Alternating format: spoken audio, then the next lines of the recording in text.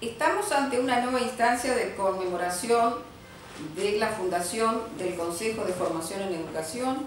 que se produjo el 24 de junio del año 2010. Un joven consejo en el ámbito de la NET que recoge viejas tradiciones muy ricas en las carreras tradicionales de magisterio y profesorado, que hoy integra todas las carreras de formación de educadores, maestros, profesores, educadores técnicos, educadores sociales, alguna tecnicatura como asistentes en la primera infancia y que hoy nos convoca a rescatar de esas ricas tradiciones y también a desnaturalizar algunas cosas que aparecen como muy naturales y que a veces justificamos con la frase siempre se hizo así. La fecha de fundación ha sido decidida ya por el Consejo anterior como el Día de los Funcionarios de Gestión.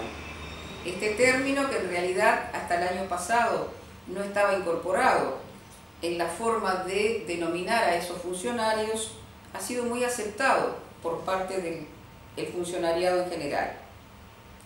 Queremos destacar la importancia de la labor que cumplen estos funcionarios tanto a nivel central del Consejo como a nivel de los centros contribuyen a que las cosas sucedan y por eso los estamos llamando funcionarios de gestión. Contribuyen a que las líneas de acción se concreten desde distintas esferas, la administración propiamente dicha, la logística y los servicios, la información, las relaciones humanas. Son a veces la primera cara visible para quien se acerca a la formación en educación, ya sea en las oficinas centrales o en la de los centros en ese momento no son el funcionario Juan o María, son el consejo o son el centro educativo en el cual se encuentran. El Consejo de Formación en Educación valora muchísimo la participación de todos los actores que se desarrollan en esta órbita. Por eso que dentro de la política de participación se le ha dado un papel muy relevante a la junta de directores de las distintas divisiones y encargados de servicio y también se le ha dado mucha importancia a la participación gremial de los funcionarios en las bipartitas. En este momento estamos ante un desafío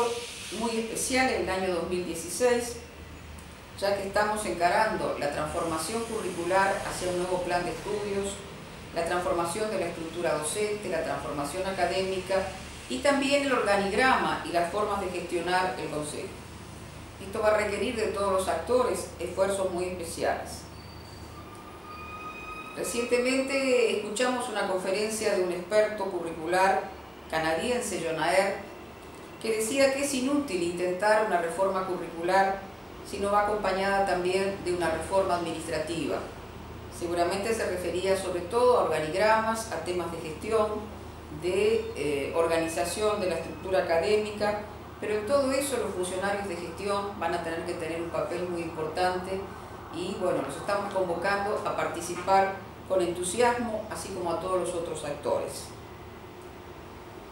Este día 23 de junio va a ser un día de celebración, eh, donde desde la comisión organizadora de los festejos se ha hecho un gran esfuerzo, para que todos pasen un grato agradable, para que a través de ese momento de recreación, desde otro lugar, que es el lugar de trabajo diario, se puedan vincular de distinta manera, disfruten un momento gratificante y para todos sea un motivo de regocijo y de crecimiento. Lamentablemente no voy a poder acompañarlos en esta celebración del día 23. Estaré